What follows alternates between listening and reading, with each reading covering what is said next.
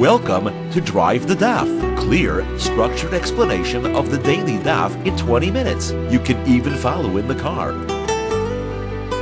Seches Eruvin Daf Kuf contains four Mishnayos discussing four separate areas of halacha.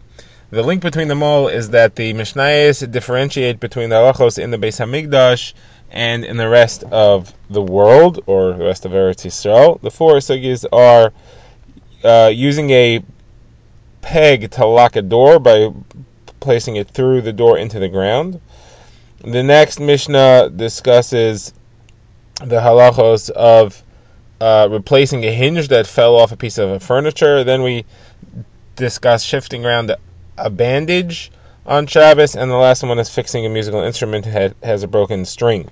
So first of all, we begin with a uh, Mishnah discussing the peg the bolt that's placed through the bottom of the door into the threshold, which is under the door, and that's how you lock it. So there are three possible halachos here. It could be aser deraisa, aser derabanon, or mutter. And there are two possible cases. The bolt uh, could be detached and just placed into the slot where it's meant to be, but when it's not there, it's lying around. Or it could be tied by a string that suspends it somewhat in the air so that it drags on the floor or it hangs but it's not actually lying fully on the floor. So, obviously, the case where it's not attached is a bigger problem because there it looks like you're building uh, uh, the peg into the ground. You take a random stick and you stick it through the hole and into the ground. That doesn't look like it's something which is created to lock the door. That looks like you're attaching the door or you're attaching the peg to the floor and to the the door. So since it looks like building, that's more problematic. If, however, it's hanging from a string, it's more clear that it's a locking device and that it's not just something that you are constructing. Now, what are the halachos here? So these two things take two of the three halachic positions available, and the machokas is which two they take. According to the Tanakama in the Mishnah, the lighter case where it's hanging is Asr Derabanan, and therefore it is permitted only in the base of Hamikdash, but not outside the base of Hamikdash. And the stricter case where it's actually on the floor, that's Asr Deraisa. According to uh, Rabbi Yehuda, both are one level shifted more lakula. If it's hanging, it's mutter everywhere, and if it's lying around, then it's aser midrabanan. But no case is actually aser midaraisa. That's a Mishnah. The Gemara brings a brisa which spells this out. The Gemara says it, it's the same uh, machlokas, but it's phrased differently. Here, it's what is the case of the Isser Derabanan that's mutter in the Beis and elsewhere. According to the Chachamim, that's where it's hanging, and according to Rabbi Yehuda, that's where it's on the floor. Now, what's the halacha? So the Gemara quotes uh, the Amayr Rabbi Yehuda and the name of Shmuel, who says that halacha is like Rabbi Yehuda as far as where it's hanging. That that's mutter. Rashi points out that the halacha is like the Chachamim as far as the peg which is lying around that that's aser daraisa. So we end up with a split decision. We have mutter and aser daraisa, but we don't have anything which is actually aser derabanan at all. Rava says the halach is only like Rabbi Yehuda that it is mutter if it's hanging, only if it is tied to the door itself. Then it looks like a door locking device. If it's tied to the doorway, it looks like building, and that doesn't count. The Gemara asks, how could you say that? But there was a story with Rabbi Tavlo and the Mechuza, and he saw that they were locking the door with the bolt which was hanging from a bar that's used to close the door. Wasn't on the door itself, and it didn't protest and say it's wrong.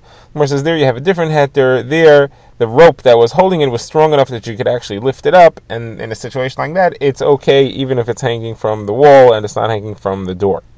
Okay, another halacha here. The Gemara says that Rav Avia went Nehardea and he saw somebody that was tying the peg to the doorway with a reed, and he said that's not strong enough. That's going to break. That doesn't make it mutter. Now the Gemara asks, what if the threshold is worn away so that the peg sticks through the threshold actually into the ground? Does that change the halacha? So the Gemara says that Rav Yosef said, what kind of shaila is that? It's an explicit machlekes in a brisa. Uh, the brisa says that if it's ripped off, then it's aser. And the machlekes Tanakama and Rabbi Yehuda, if it goes through the threshold into the floor, Rabbi Yehuda says it's aser, and Tanakama says it's mutter. What's the halacha there? Again, the Amayir Rabbi Yehuda says in the Shmuel halacha is like Rabbi Yehuda, the Tana that it's aser. What's the reason? It looks like building. Okay, now the Gemara has another question. This is Rav Nechumi Bar Zachariah asking Abaye, what if there's a handle on the bolt?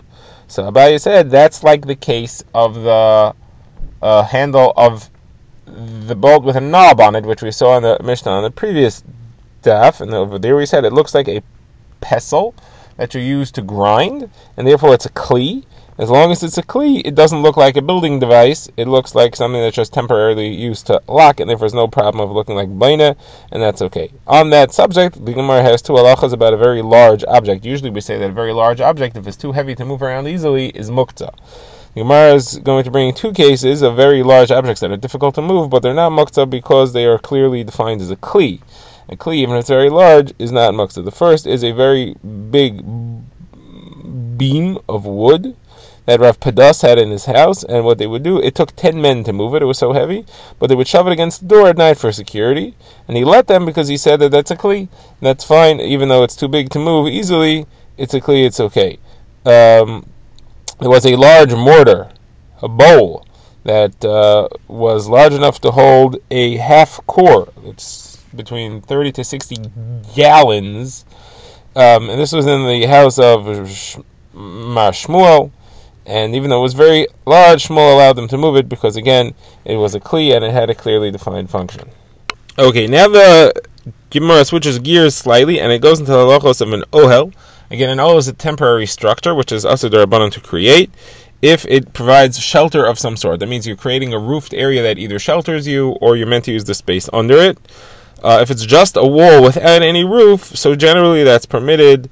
Um, if it's halachic, if it's halachically significant, the wall, then it would be forbidden. But that's not what we'll discuss here. So the Gemara says that Rami Bar Yecheskel sent a message of Amram. Tell us some halachos about the dome of the ship. What's the dome of the ship?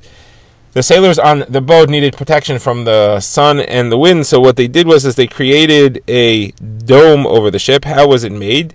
There were ribs that arched over the deck of the ship, running parallel to each other along the ship, meaning the arches started on one side and ended on the other side, and there were a series of these arches lined up near each other, almost like the uh, ribs of a house, but they were arched and they were uh, over the ship, and they would spread a heavy cloth over the ship, and that would provide protection um, from the sun and from the wind and from the rain. So now so he sent him and he said that the way to create this on Shabbos, the way to spread it on Shabbos is as follows. First of all, if the ribs are at least a tefach wide, then you already have an existing ohel. The rib itself is a tefach wide that counts as an ohel, then you're allowed to spread the cloth um, over it.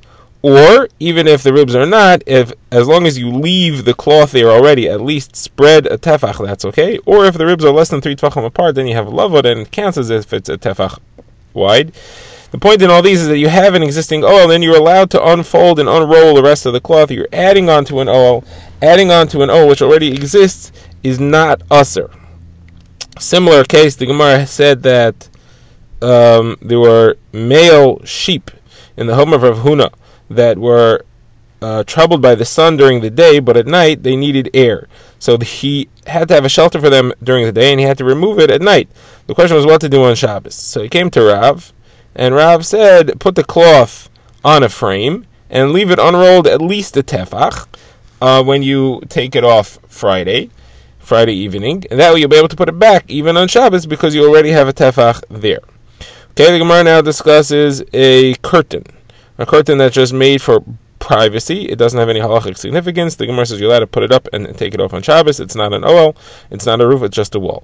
Now the Gemara discusses a canopy that goes over the bed. Now uh, the way they uh, used to have it was the canopy was set up like a roof. There was a rib in the middle that ran lengthwise to the bed, and the cloth sloped downward from that central apex down to the sides of the bed.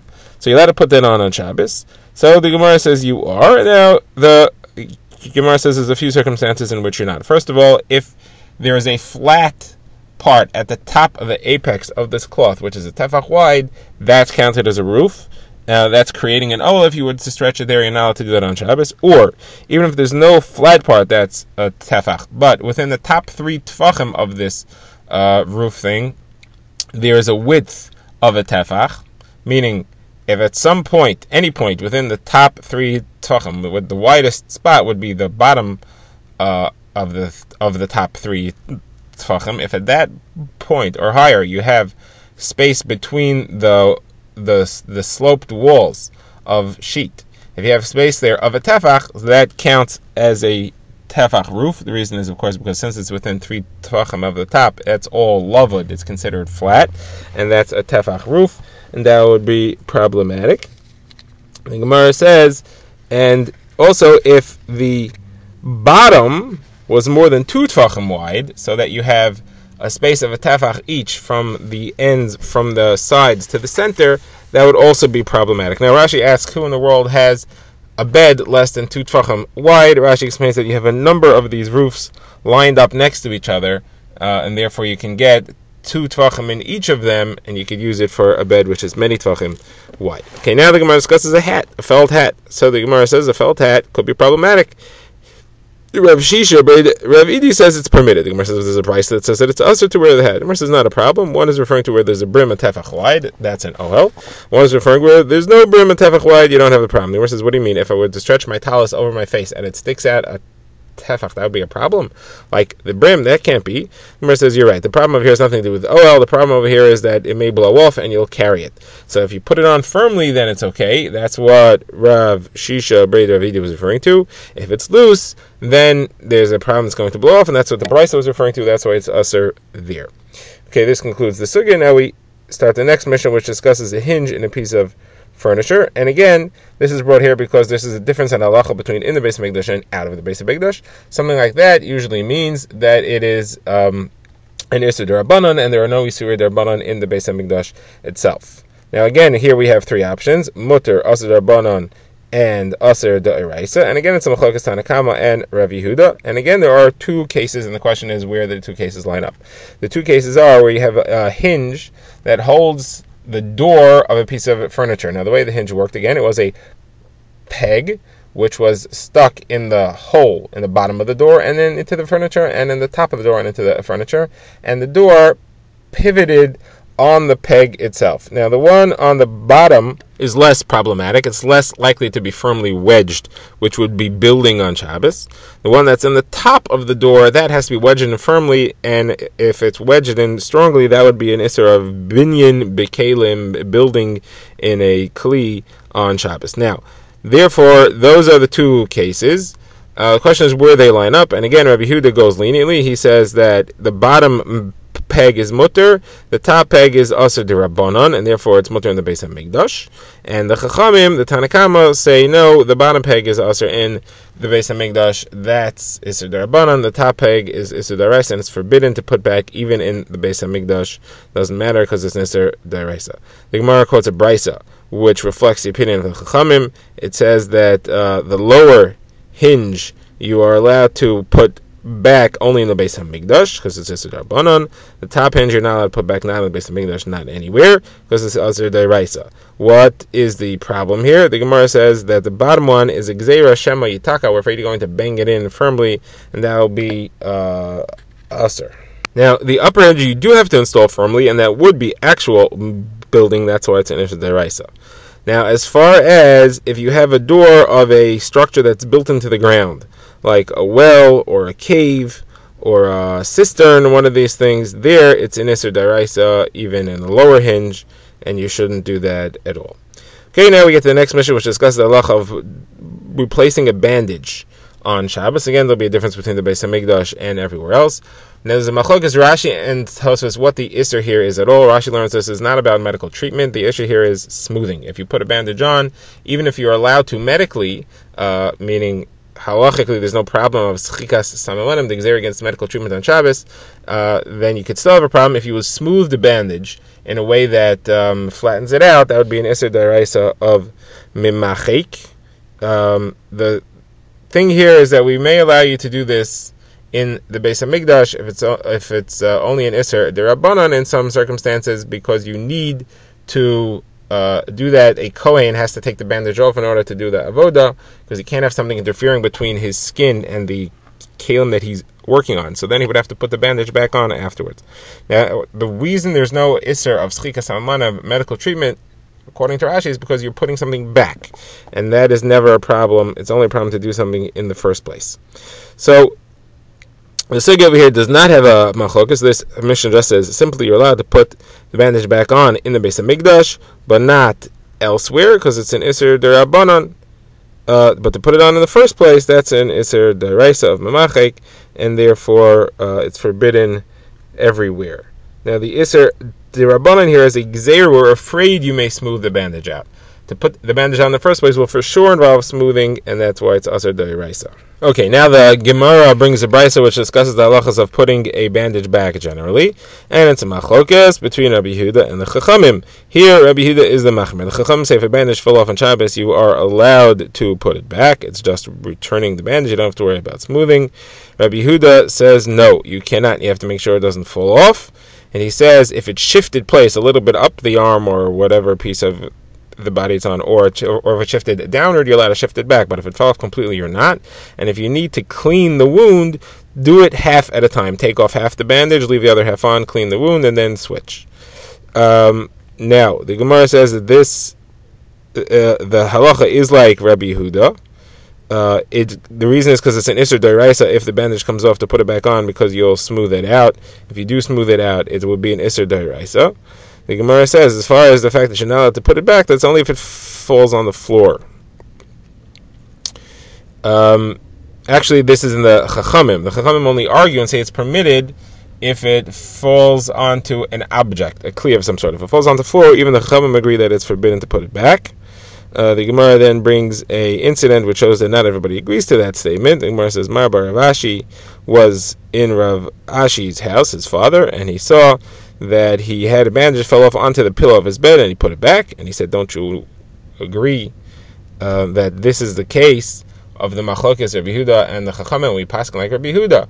That is the case where it fell off onto a kli. That's where there's a machlokes. If it falls onto the floor, so everybody agrees it's usher. The whole machlokes is where it fell onto the bed. But even then, we pass like Yehuda and it should be usher.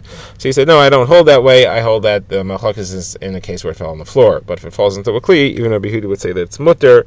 not a problem at all. Okay. Now the Gemara goes to uh, the next Mishnah, which is a halacha of fixing a harp in which a string broke. And the Mishnah says halacha is that you're allowed to fix the harp string in the Beis Hamikdash, but not anywhere else. And installing the string in the first place, that is usher even in the Beis Hamikdash. Now, what's this about? This is an Issa Daraisa of Mentakin Klishir. Uh, it's not an Issa Darabanan. However, this Issa Daraisa may potentially be mutter. Why would that be? Well, in order to create a Kli, to fix a Kli that you couldn't have otherwise had, is permitted if it's for a mitzvah in the Beis Hamikdash. And the Gemara wants to say that this is the opinion of Rabbi Eliezer, who says that you're allowed to fix a kli, which is a mitzvah, in the Beis Hamikdash, uh, because you need it. You need it to use for the mitzvahs of the Beis Hamikdash. Now, the Gemara quotes a brisa, which contradicts this. The brisa says you're only allowed to fix it by tying a bow, which is not a malacha, because all you're doing is tying a bow, which is a slip knot. There's no isser of tying there. Um, that brisa then seems to say that you're not allowed to fix the string. So it contradicts our brisa, which says you are, our Mishnah, which says you are. The one says no, it's a machlekes. Rabbi Eliezer is the one who says you're allowed to fix devices you need for the avoda in the Beis Hamikdash on Shabbos. The Rabbanon say that you're not, and that's why you're only allowed to tie a bow. The says, hold on a second. If it's Rabbi Eliezer, he's, he he would say, are you even allowed to install the string in the first place? Um, he doesn't say that it, that it's only permitted if it broke on Shabbos and he couldn't fix it. You couldn't fix it before Shabbos. He says you're allowed to do it, even if you could have uh, installed the string before Shabbos, you're allowed to do it on Shabbos. So how do you understand this? Why should he say that you're only allowed to uh, uh, fix it, but you're not allowed to install it in the first place? So the Gemara says, okay, I'll have to tell you that this is a different machlokes. This is not a machlokes between the Rabbanon and Rabbi Eliezer about fixing tools of the Beis Hamikdash is actually Machlokes Rabbanan and Rabbi Huda as to whether there's a difference between a bow and a regular knot. According to Rabbi Huda, there is no difference between a bow and a regular knot, and therefore we say in our Mishnah that you're allowed to fix it. it makes no difference if you make a bow. According to Chacham, however, you're supposed to make a bow because uh, that's lenient and that's mutter. Uh, it's um, so that's why you're allowed to do that. The says that doesn't answer the question because how exactly is Rabbi Huda allowing you to do an Isser Daraisa of tying a knot? Right? You said that Rabbi Huda says there's no difference. Both a bow and a regular knot are usser.